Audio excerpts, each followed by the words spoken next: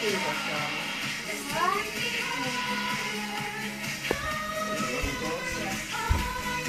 Sonia.